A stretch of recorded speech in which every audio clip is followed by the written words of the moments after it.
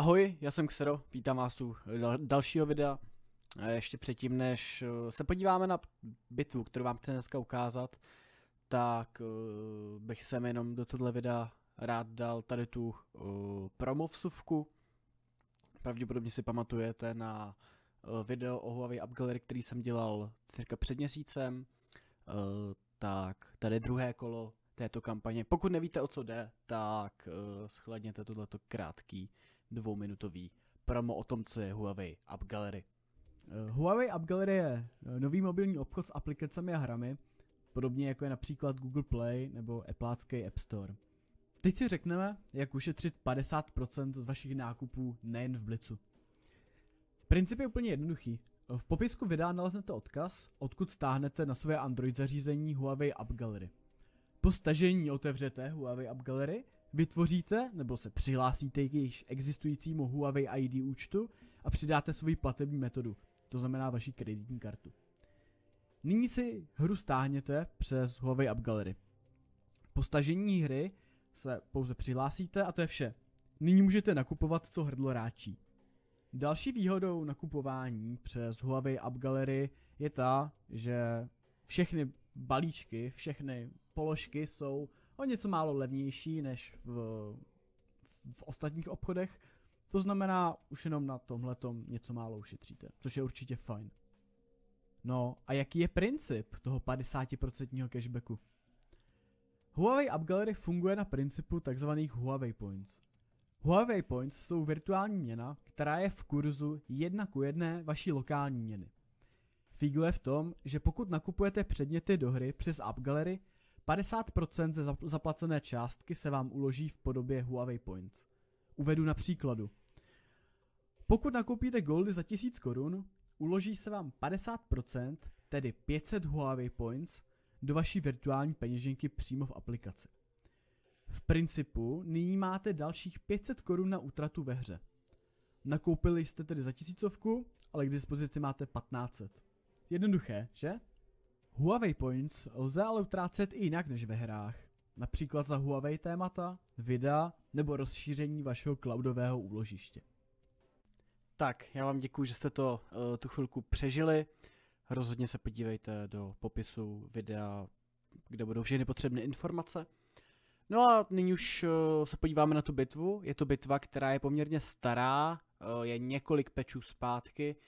V bitvě uvidíte datu, nebo respektive ve výsledkové tabulce. Uh, je to jedna z bitev, který jsem měl prostě nahraný v kompu, i nakomentovaný, ale prostě nevydaný, tak tady ji máte. Užijte si Ahoj, já jsem Xtero, vítám vás u uh, dalšího videa. Tentokrát to bude další komentovaný replay se strojem uh, 95E6. Pokud jste viděli už předchozí replay, tak tohle to bude ještě trošku výsledkově lepší bitva, než byla ta bitva s tímhle tankem na té uh, na tý pevnosti bez naděje. A uh, jak jsem v tam té bitvě na té pevnosti neměl štěstí na tým, tak v této bitvě se mi vrátilo štěstí za kompletně celou hru. A nebudu každopádně nějak úplně extrémně spojovat, ale jenom asi můžu doporučit dokoukat do konce, protože uh, tato bitva bude stát za to uh, od začátku do konce. Uh, můžu to teda asi pustit. Je to na mapu pouštní písky, nepletuli se. Desítkový matchmaking, čtyř, čtyři desítky na každé straně. A uh, já jsem se v době odpočtu rozhodl jet doleva, do pouště. Protože já tenhle ten stroj hraju v podstatě jako metko. Ono to je i na PC verzi této hry, jakoby v normálním uh, World of Tanks, tak tenhle ten tank je přímo metko, tady je Hevina. Ale ono to je takový, dá se říct, pomalejší metko. Je to třeba trošku podobný jako Petn nebo něco takového. Prostě pohyblivější E5.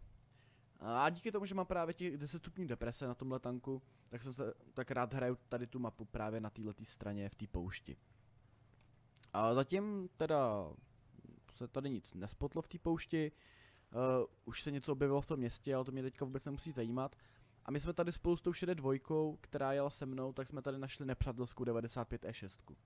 Která je tady úplně, úplně osamocená, tak uh, není asi nic jednoduššího, než uh, jí začít nějak pomalu vysvětlovat, že prostě nemohl být sám. Tady jsem si uh, hlídal koleje, jestli tam nekempí nějaký TDčko, i když to by asi už spotla ta do dvojka, ale chtěl jsem si být to pro jistý. Někdy se mi stane, že tam spotnu TDčko, který teprve píkuje přes ty koleje a mám šanci to TDčko třeba případně tracknout a uh, vyvarovat si tak nějakýmu damage, který bych mohl dostat.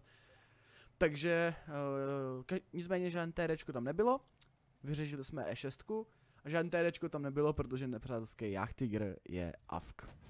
A uh, já jsem zrovna tenhle ten stroj stovkoval, a to znamená, že jsem, uh, pro mě každá rána damage byla, byla velmi dobrá, tak jsem tady prostě si toho AFK JTho sfarmil. Takže hnedka uh, 19 damage, takhle v podstatě lusknutím, prstu, první kill. Zatím bitvu vyhráváme, skóre uh, 3-2.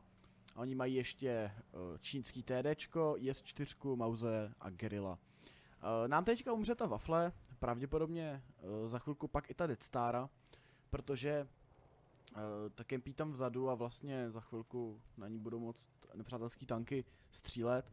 Tady je čtyřka a mě, já jsem si tady počkal schválně na zadní kolečko, abych si ji mohl detreknout, což se mi taky povedlo. On neměl opravit, takže to znamená, že zůstal na tom místě a já jsem mu dal další, další ránu. Uh, Death Stara už umírá, naše 5 Heavena, všimněte si, že, že je AFK.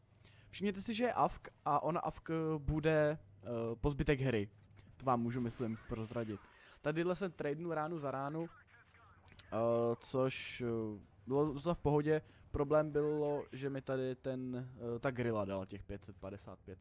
Já jsem nějakým zázračným způsobem tu ránu trefil, i když si osobně myslím, že uh, ta rána už toho grilla netrefila. Uh, tady jsem koukal, jestli tam ten grill nepíkne, ale já jsem nechtěl mít otočenou věž bokem vůči té IS-4, protože jsem ještě nechtěl umřít. Protože stále vidím, že má prostě plnýho mauze a že tady je ještě nějaký damage. Uh, tady se mohl vystřelit, ale já jsem se bál, aby ta rána probila a tady právě mě potopilo dělo, jak jsem eh, zmiňoval, ať už na streamech nebo třeba v tom videu na té pevnosti bez naděje, prostě to dělo trolí. Uh, díky bohu, uh, tady mi vyšel reload, povedlo se mi tu IS-4 zabít, což bylo velmi důležitý a taky bylo velmi důležitý, že uh, mi nedal už ani ránu, že mám furt 559 HPček. Tady ten mouse, já se ho začnu uh, zatím beztrestně střílet, Náš mouse se fokusuje na tu naši šedé dvojku, což je fajn, takže tady rány úplně zajarmo. Jinak všimněte si, že jsem vlastně do té doby, do této doby v podstatě furt střílel jenom, jenom APčka, že jsem vůbec negoldil. Až teďka začnu trošku goldit proti tomu mauzovi. Takže pořád stále farmy mauze, mouse se rozjíždí, to znamená, že já si malinko zajíždím. Tady ještě krásně s tím ránu. Grill zabil naši šedé dvojku. Grill zabil naši šedé dvojku. A tadyhle uh, si to pauznu, a vysvětlím vám můj, můj myšlenkový pochod. Já jsem věděl, že se můžu nechat trefit od Mauze, to bych přežil, ale od Grilla ne. Oba dva na mě jedou. Mm, jakože fakt jedou, oba. A uh, co udělali špatně, je, že uh, měl nejdřív jet ten. Uh, měl je ten mouse, nechal se trefit, trefit mě. Třeba já bych, když bych už fakt věděl, že je ta bitva jako prohraná, tak si dám ránu do toho mauze a umřel bych. Oni to udělali následovně. Nebo spíš takhle, oni to udělali asi dobře, ale já jsem to udělal ještě líp. Vyjel na mě mouse, já jsem měl cl- clear shot a i APčkem na bok, on mi vyjel v podstatě kolmo. Ale já jsem věděl, že si potřebuji zabít toho grilla. Takže jsem se nechal trefit od mauze a dal jsem hečko grillovi. Takže jsem se zbavil grilla, což byl ten tank, který mě mohl dát na ránu. Teďka mě může dát ten mouse na ránu, ale mouse nabíjí asi nějakých 12 sekund, takže tady jsem docela v klidu, nebo 11, něco takového. Dal jsem mausovi teda ránu, odsouvávám si tady za uh, tuhle tu mešitku a teďka se budu snažit uh, toho mause nějakým způsobem baitnout. Ta 5 heavy, heavy je furt avk, takže kdybych teďka umřel, tak ende šluz konec hry. Mně se podařilo Mauze baitnout, dal mi héčko za 73, nechal mi 60, uh, 66 hápek. Dal jsem mu ránu. Uh, a teďka jsme teda v oblasti Mauzem na ránu a mě, já jsem tady vyjel bokem. Já jsem tady udělal upřímně velkou chybu. Já jsem si myslel, že, že ten Maus nestihne přebít. On stihl přebít. Nějakým způsobem. Ale bouncenul mě. A mně se podařilo toho Mauze zabít, takže jsem si za- zajistil svůj čtvrtý kill, byli válečníka a uh, můj damage counter se zastavil na uh, čísle 6677. Což si myslím, že už je fakt jako docela, docela pěkná bitva. Takže na to, jak jsem uh, v tom videu z té pevnosti říkal, že se mi moc, moc nedaří, tak tím videem se mi docela zlomila bariéra právě s tím letím takem, kdy jsem měl fakt krásné hry. Takže 4 killy, necelé 6700 damage a teda štěstí jako prase. Jak štěstí, že jsem potkal toho Avkyach Tigra, tak štěstí, že tady s tím mauzem na konci, no prostě štěstí tady hrálo velkou roli. Pro mě v podstatě i štěstí, že nehrála ta 5 Heavina, protože díky tomu, že nám nehrál tank, já jsem si mohl nastřílet. Kdyby hrál, tak rozhodně nemám takovouhle bitvu. Takže uh, tohleto video se bude jmenovat nějak ve stylu, že víc štěstí už prostě nejde, nebo něco takového. Takže fakt krásná bitva, skoro 16 base expů, samozřejmě Mko, válečník, high caliber, výdělek naprosto krásný, myslím si, že bez použití boostrů úplně, bez použití boostrů 186 tisíc, no tank vydělává prostě úplně nádherně. Uh, moc krásný damage, uh, mám CCA polovinku uh, celkového poškození mýho týmu. Ta 62 hrála docela pěknou hru, ačkoliv to není nějak moc extra dobrý hráč. A uh, ta Waffle ještě něco málo zahrála. Uh, jinak tam pak byly takový symbolický, symbolický čísla, aby se neřeklo, ta 5 Heavena byla teda AFK od začátku bitvy. Uh, takže co se týče třeba ještě efektivity střelby, tak ta je 2019-18, takže já si myslím, že dobrý. Ještě tu mám nějakým způsobem 600 asist. To bude možná na začátku na toho Jachtigra, protože toho jsem myslím spotl já. Takže tahle ta bitva fakt si myslím byla hodně pěkná.